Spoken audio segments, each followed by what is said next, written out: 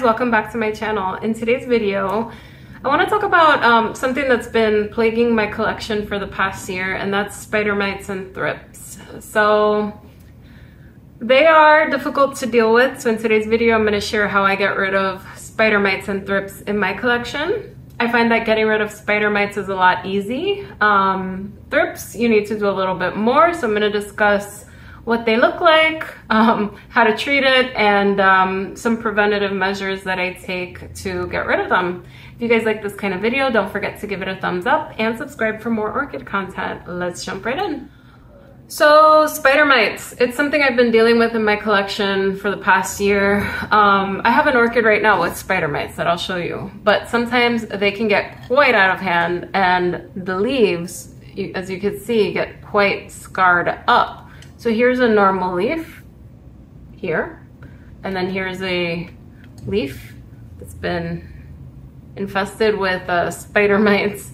Um, they're just kind of annoying to deal with. The best thing you can do is prevent um, the spider mites from reaching your plant. And what I like to do is every time I flush my orchids, I like to not only flush them, but I run water through the leaves to keep the leaves clean and I find that that keeps the pest population at bay.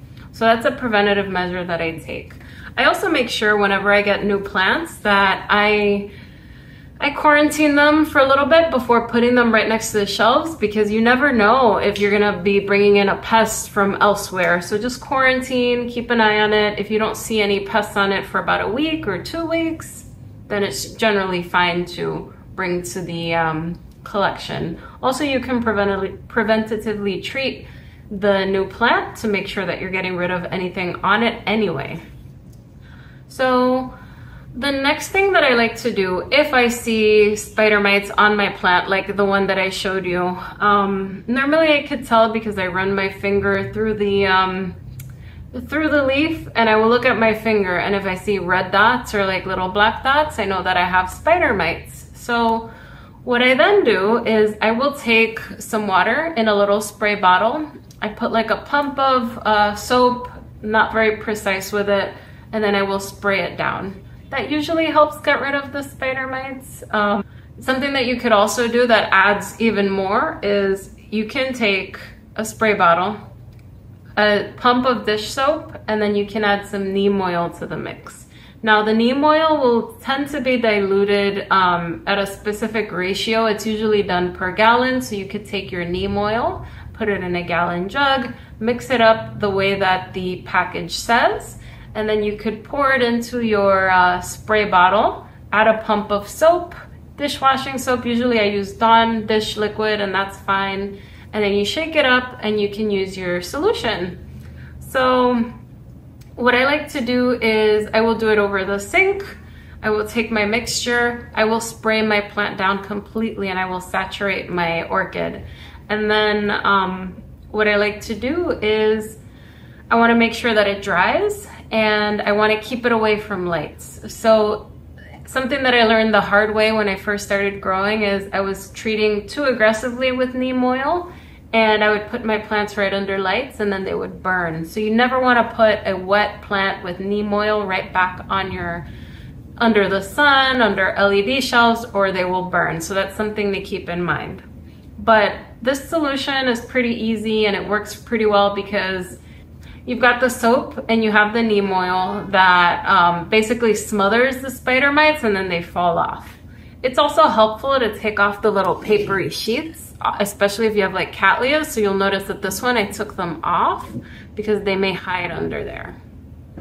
Zoe's saying hello. So um, I like to spray that and then just basically smother my my cattleyas or my oncidiums. It works for any kind of um, orchid, but you want to keep it away from the from the lights. She doesn't want to leave, so I'll leave her.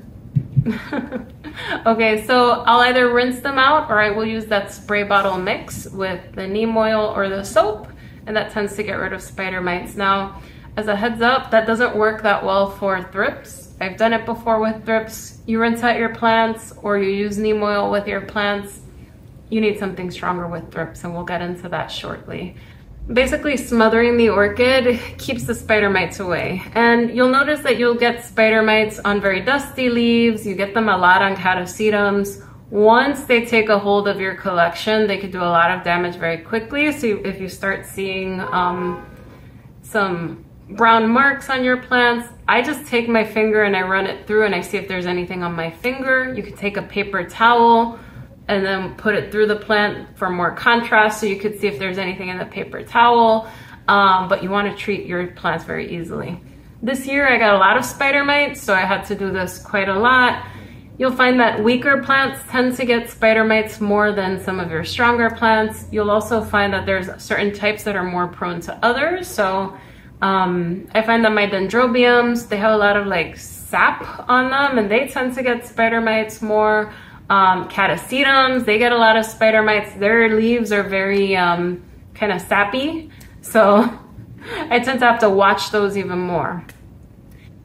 Usually the spider mites are like red or or black normally and you'll be able to see them. Sometimes they're brown. Um, once you see those spider mites, you want to treat them so they don't spread to the rest of your collection. And um, they're, I'd say that spider mites are easy to get rid of. They're not too bad. You see them, don't freak out. It's not a big deal. But thrips are a different matter. so last year I had a thrips infestation for the first time. I didn't know what thrips were. They were like long little uh, bugs that were all over my collection. They look different from spider mites. They are longer. They do create a lot of damage on your plants and I find that they're not as easy to get rid of. So rinsing my plant off, if I have thrips, the populations still somehow remain. I'll knock down some thrips, but it looks like the eggs and um, I don't know, I don't know what happens, but they remain on the on the plant somehow. So spraying it with neem oil doesn't help all the time using water to rinse it off doesn't help. You still have eggs in there and then you still have more. So you need to use a systemic insecticide to get rid of it. So um, this also works for spider mites, but I recommend it for thrips. I will generally take um, something with spinosad in it. Spinosad is a little bit less toxic, um, a little bit better for Zoe over there who's just chilling. Um, but I use the brand Naturalyte and what I do is I will take, if I have a thrips infestation, I need to take my collection and bring it to the tub or bring it to the sink, saturate it in a spray bottle, dilute it per the instructions on the label, and then just spray the entire collection. I've used a pump sprayer before, that's one gallon, that's perfect. That way I could take the um, recommended dilution of the product. So I tend to do that as well. I will just take the one gallon, add in the measurement that they asked for, um, and then spray my plants, and I find that it works really well. That also works for um, that also works for spider mites too. It is just something more heavy duty when neem oil isn't working or if you have very stubborn pests like thrips that are not as easy to get rid of as spider mites. Thrips create a lot of damage. They tend to spread very quickly through the collection and once you have it, they tend to eat your flowers, they eat the buds and it's kind of sucky because you grow for the you grow for the flowers and when you see the flowers are kind of misshapen, it's it kind of sucks. So I try to get on top of it as soon as I see them. But I do have some thrips in my collection. I notice just a few here and there, so I treat them. Once you see them though, they tend to spread pretty quickly, so it's better to get your whole collection. Um, one of my friends who also grows indoors, what he does is he has a, um, on his shelves, some plastic in the back and on the bottom he has a mat. And what he does is he takes an electric uh, sprayer, he adds the Naturalyte or the spinosad or the insecticide and then he just sprays it all through the whole collection. That's something that he's done. It's something you could do really if you don't have pets around. Um, Naturalyte is not, um, I find it doesn't bother my eyes, it doesn't bother my hands, but you do want to be careful with any pesticides in your home, clearly. Um, but if you can protect your walls and put something in the back, you could spray with an electric pump sprayer as if you were outdoors. Um, just open your windows, wear a mask, and keep any pets outside of the area. Again, I don't do it because of my cat, but you might be able to do it if you don't have a pet or you can keep them away and you can contain that environment indoors.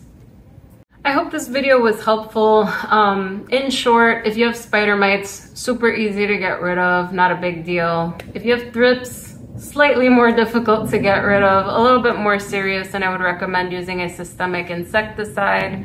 I like Naturalyte, um, and I find that it works really well for me.